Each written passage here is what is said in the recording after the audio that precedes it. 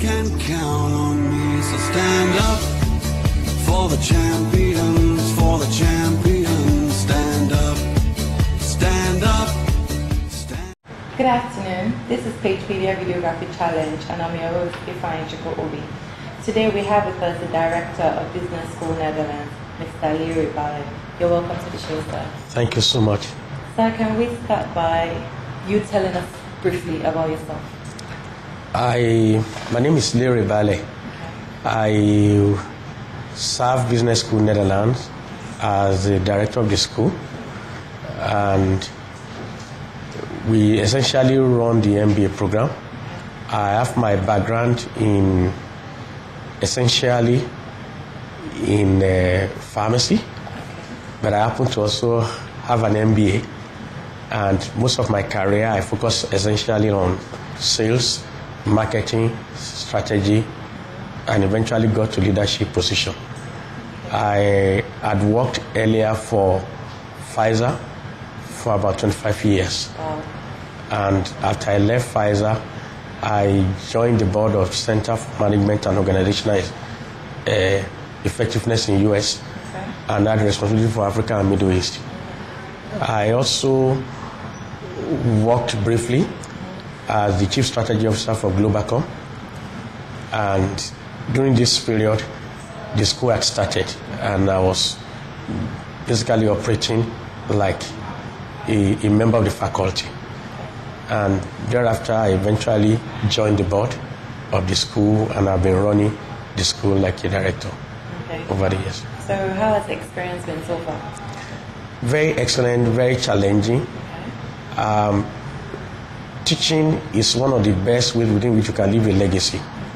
I'd always been very passionate about teaching, and I feel being in a school environment helps me.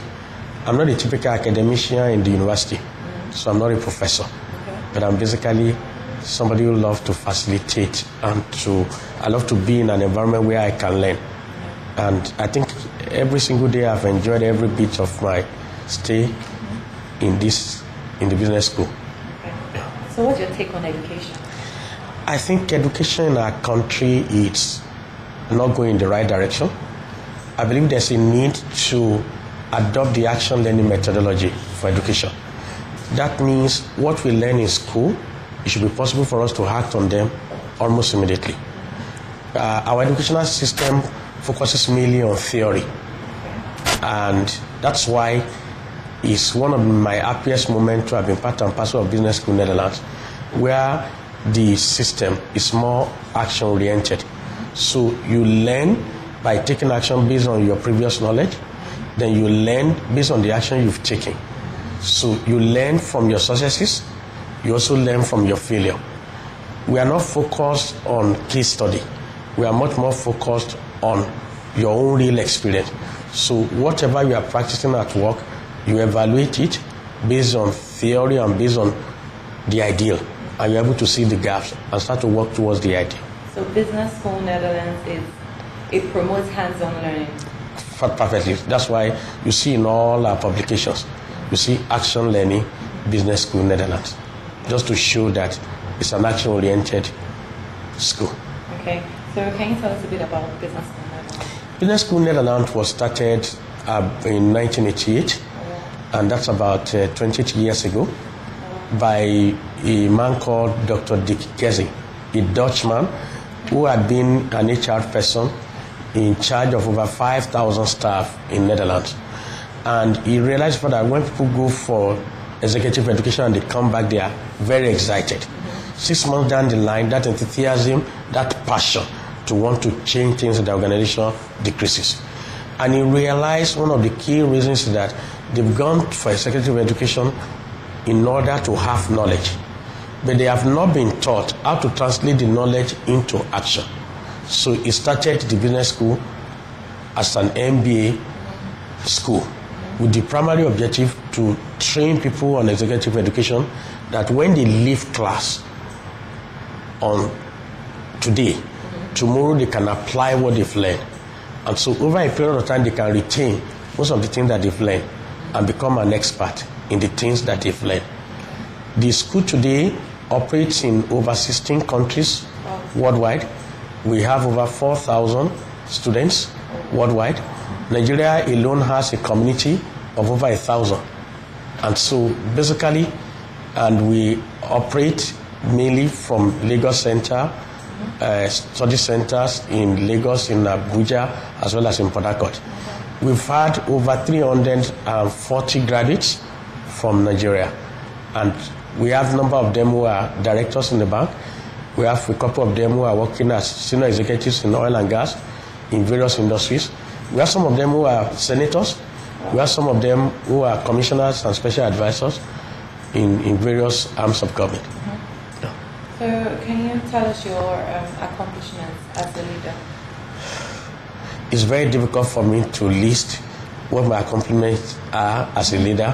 Okay. I would rather leave that in the hand of people. But if you ask me questions, what what I've been able to achieve as a member of different teams, Yeah. uh, first and foremost, I think I'm extremely happy that as a member of the same team with my wife, we have brought up two kids. Okay. One is a PhD holder, and the other has double master's with CFA. It's an investment manager. And as a member of Pfizer, I was part and parcel of the team that transformed and built a new Pfizer as the first acting and foundational country manager in 1997 and built Pfizer to an enviable position today. And Pfizer was started again from ground zero after we sold the old company in 1997. I've also been privileged to be one of the pioneer staff who was able to have the headquarters in Nigeria and yet had responsibility for about 35 countries in sub-Saharan Africa, where I served as regional director. Uh, Whatever modest achievement we've had has to do with a powerful team who are very passionate, very committed, very competent, and in most cases more competent than I am, but who have worked together with me and have respected my leadership. I also believe that we started in a very small way in Otta with business school, where we had just about 20 people from inception. And today we have over a thousand in the community. This couldn't have been possible without a very strong team. I've been privileged to be part and parcel of this team. And maybe I've also been very privileged to lead the team. I would not consider them to be my own achievement. I consider them to be the achievement of the team. Okay. So, what has been your biggest setback? I think the biggest setback I've had is to watch people who are possibly MBA holders mm-hmm. mismanage other people. Mm-hmm. And it hurts me. And so today, when we are preparing new set of students for the MBA, I always tell them about the fact that leadership is about building other people to become better leaders than you are. Leadership is not about creating followers. Politicians look for followers, but leaders create better leaders than they are. So they are able to leave a legacy. And the period I've been hot are periods when I've seen very senior members of management of organization mismanage their subordinates, talk down on them, treat them as if they cannot add any value, rather than treat them as people of great value. Because there is value in every single person. And when you connect with people on the inside, you can always get the best out of them. So, if you could do it all again, what would you do differently? I think if I could do it once again, I, I would have loved to leave what I call a career setting and start teaching earlier. I, I think my decision to move out of a career to start teaching, uh, even though many people believe that I did that at a young age, I would have loved to do it earlier. Because I think I love the passion. But I also recognize the fact that my experience in a typical career setting has helped with the practical aspect of sharing my real life knowledge in class. And I've learned a couple of things as well. I also believe that if I have a chance to do it again, I'll possibly spend more quality times with my kids. I was so much engrossed in career that virtually my wife was responsible for a lot of things and was usually the one who was at home with them, and I, I didn't feel very comfortable until I found them go to boarding schools. and so, Okay.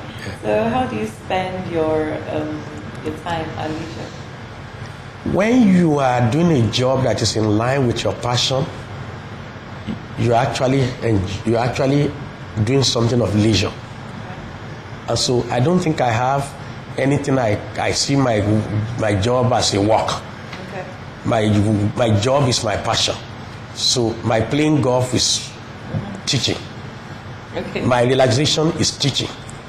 okay. My leadership is teaching. Everything I do has to do with sharing of knowledge and learning. And more importantly, it's not really about teaching, it's about learning. I learn a lot from people I interrelate with, irrespective of their age. When they share their own knowledge, when they share their perspective of things, you learn from them. And I've always believed that once you do things that are in the, the center of your strength, you don't really need any form of special relaxation again. That's relaxation on its own because you are doing it stress free. Okay. In which retrospect, what do you know now that you wish you knew Before. 20 years ago? I, I wish I'd understood the magnitude of ignorance in our society concerning leadership. I wish I'd been involved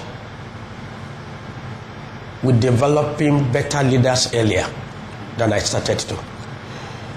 I wish that every school, right from primary school, teaches entrepreneurship rather than teach you to have a degree and then you go and look for a job. I wish that the educational system in our country is transformed in such a way that people can be more confident about themselves and they will know that degree is nothing and that what is more important is what they do with that degree. I wish that more people will learn that their first degree is nothing and what they do, not just with the degrees, just for them to become literate. I qualified as a pharmacist, but I'm not basically practicing on daily basis as a pharmacist. I found comfort in some other thing, but yet pharmacy happens to be my base that taught me the meaning of quality, that taught me the little of eh, the value of excellence, that taught me the value of humility, that taught me the value of human relation. I learned all those things there. And so you can put whatever you learn in your first degree into good use, irrespective of whatever you want to do. And so there are people just pursue, pursue what they have learned in first degree. And there may not, that may not be their area of primary calling. Yeah. That's the way I see it. So, um, well, in the spirit of Pagepedia tradition, we need you to recommend two, three, four. The People. number can go to ten people that you feel you should sit with and learn from their experiences. I, I think I will mention the people who have inspired me Okay. in an unusual way. I will mention first and foremost my wife, Okay. who has more degrees than me. And who is a pharmacist, a chartered accountant, an investment manager, an MBA holder, an MSc holder, and so her name is Margaret Ifelola Moradike Balee. She's been a source of inspiration to me. I'm also significantly inspired by somebody I've stood on his shoulders for not less than about 35 years. Prince Julius Adelusi Adeluyi. I cannot forget my boss who taught me rudiments of marketing. My first boss in marketing taught me so many things. Mr. George Edwin Thorpe. Neither will I forget the chairman of Business School Netherlands, who had been a source of great inspiration and who had given me very free hand to run the school and who continues to inspire me because his trust in me is unimaginable. And he has taken me far beyond BSN to see the beauty of entrepreneurship. Mr. Ayodele Aderinwale, MFR. So uh, what other advice do you um, can you give to prospective students or people that are, that are thinking of attending a business school? Why do you? What kind of advice can you give them to look out for when they're looking for school? If you're looking out for a school, particularly for an MBA school, don't look for a school that gives you a certificate. look for a school that enables you to step out of this before you step out of the school you are already making money based on your knowledge, on the knowledge that you are acquiring in the school. Go to a school that increases your level of confidence in your current career that enables you to know that even if your current employer asks you to leave tomorrow you can start the following day without a single capital. Just knowledge. We are moving to knowledge economy and where practical pragmatism plays a very key role and where action is more important than theory and so people should look forward to a school with high quality not just of the content of knowledge but of the content of action that comes out of the knowledge Um, the final question before we end the show. Thank you. Um, can you give um, words of wisdom or advice to people that are watching the show? Things that you've picked up for over how many years? 35 years. And so, so can you give words of? I, I, I think as a leader, I've learned that power corrupts, and absolute power corrupts absolutely. But I've also come to learn that economic power, spiritual power, political power, spirit, uh, spiritual power, and all kinds of power that people have, they don't actually intoxicate. They actually reveal who you are. And so, if you have any form of power and you remain humble, that's a real humble person. But the person doesn't have power and is humble, you don't really know who he is. So power actually reveals who you are. And therefore, when you have power, you must always remain humble by recognizing the role that grace plays. And grace itself is God's riches at Christ's expense. It actually implies that God is just being gracious to you to be able to touch life. That's why He's putting you in a position of power. And your responsibility is to be able to build other people up, to be able to leave a legacy in their life. My advice to our leaders, irrespective of where they are, political leaders, economic leaders, spiritual leaders, and all kinds of leaders in all various aspects of life, frames of life, is to learn to be humble, to know that there's nothing they have achieved today that generation coming behind them will not achieve more. And when they learn to be humble, they can therefore learn from the coming generation and become even far better than what they had today. All right. Thank you so much for sitting with us. It's a great privilege, Ifeanyi. Thanks so much. All right. This, we have been speaking to the Director of Business for Netherlands. This is Pagepedia Videography Challenge. Into more episodes. Thank you. God bless you.